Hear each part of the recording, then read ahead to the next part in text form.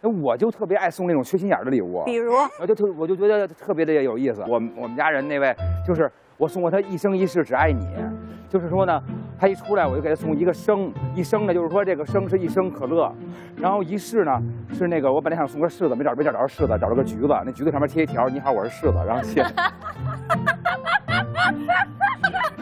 谜语是吧？对，还写了一个说你好我是柿子，我要给你解释一下这个是柿子，一生一世纸，然后就是抽纸巾，爱，然后就是就是拼出一个人，拼出一个心嘛，你，然后就是我正好站在，我就跑到那这个这个角度，然后指着他，然后哇然后就是说一生一世只爱你，哇，在一个什么样的情境？就是当时情境是什么？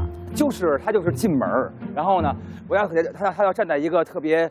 正正好能最后这个谐音梗能能能能到这个位置的那个那个那个那个那个点那儿啊啊，对，他就他就挺高兴的呀。我觉得你这创意不错呀。哎，你这创意很好。对啊，因因为我因为我觉得吧，就是说生活买东西都能都能自个儿弄，但是就是因为我要以我自个儿的特色来给我爱的人最大的回忆。对对对。不是这个，对于我们女生来说，这个就是用心。对对，而且很可爱。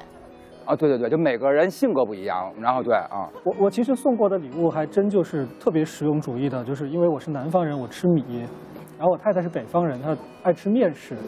为了给她做饭，我就学习怎么去和面擀面。天哪！我做面条。李老师擀面的背影。对呀，你你为你太太学会了做面嘛？